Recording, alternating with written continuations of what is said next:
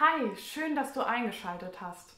In dem heutigen Video möchte ich dir eine Klezmer-Spieltechnik vorstellen, die einen ganz spannenden Effekt auf den Ton hat. Und zwar das Singen, während du spielst. Auch das ist ein Videowunsch, der in meiner Gruppe geäußert wurde.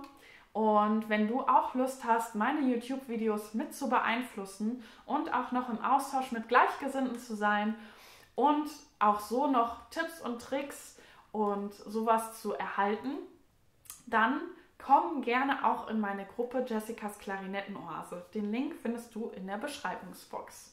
So, jetzt lass uns aber loslegen. So klingt es, wenn ich singe und gleichzeitig spiele.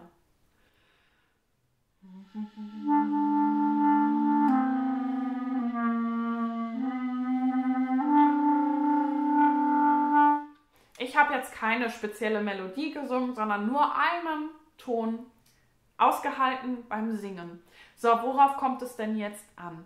Also, wichtig ist, dass wir trotzdem genug Luft bringen, damit das Blatt schwingen kann. Das heißt, wenn wir jetzt singen, muss die Luft trotzdem schnell fließen können. Und jetzt möchte ich, dass du als allererstes ausprobierst, ob du singen kannst und trotzdem Luft geben kannst. Du kannst auch nachfüllen, kommt hier wirklich Luft raus. Und kommt sie auch schnell raus oder fängst du an zu hauchen? Das ist nämlich Hauchen. Das wollen wir nicht. Wir wollen, dass die Luft trotzdem schnell fließt. Und dann, wenn wir das können und die Luft eine Form hat und wir gleichzeitig singen können, dann ist der nächste Step, das auf das Instrument zu übertragen.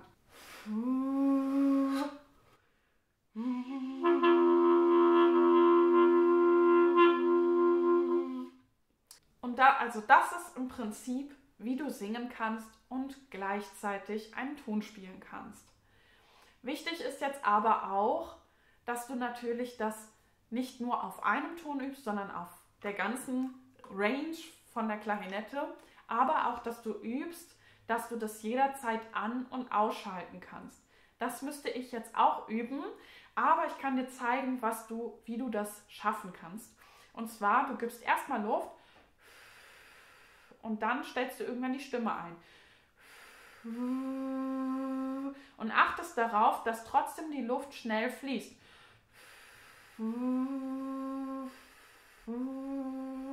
Und das ist sehr, sehr anstrengend, kann ich dir sagen. Mach das einfach ein paar Mal.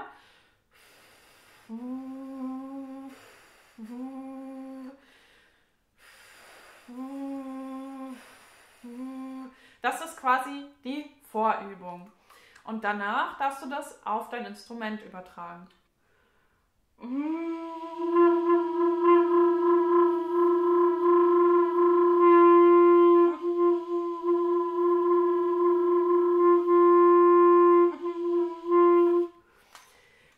Gehört hast, habe ich zuerst mit der Stimme angefangen zu singen und dann den Ton klar, also wieder nur Ton gemacht und dann wieder angestellt. Das ist am Anfang so leicht war zu üben, dass du erstmal das Gefühl hast, wie fühlt es sich an, wenn ich singe und dann zu wechseln in ich singe nicht und dann wieder zu wechseln ich singe und dann immer abwechselnd. Das braucht natürlich viel Übung. Für mich ist das auch schwierig, weil ich tatsächlich nicht so viele Klezmer-Techniken hier übe. Aber hier ein kleiner Einblick, wie du das lernen kannst, auch wenn ich es nicht perfekt kann. Weil letztendlich ist es eine Übungssache. Also nochmal zusammengefasst, erster Schritt, du übst gleichzeitig Luft zu geben mit Stimme. Wenn du das kannst, überträgst du das auf die Klarinette. Das ist natürlich nicht so leicht, weil du dann halt auch einen Widerstand hast, den du, wenn du das ohne Klarinette übst, nicht hast. Aber das wirst du dann nach einer Zeit auch rausfinden. So, und dann ist der nächste Step, das dann auf verschiedenen Tönen natürlich zu üben, aber auch ähm, ein- und auszuschalten, weil in der Musik möchtest du das ja jederzeit ein- und ausschalten können.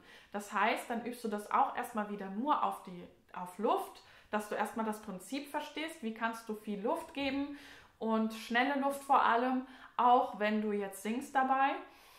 Und danach überträgst du das auf die Klarinette. Hier mein Tipp, erst mit dem Singen anzufangen und dann auszustellen und dann wieder einzustellen und das dann halt einfach zu experimentieren.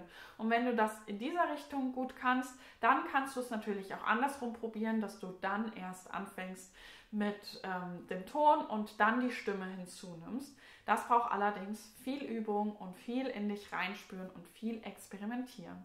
Und wenn du das gemeistert hast, dann ist der nächste Step, dass du das dann in die Musik natürlich einbindest und an den Stellen übst, wo du diese Technik anwenden möchtest.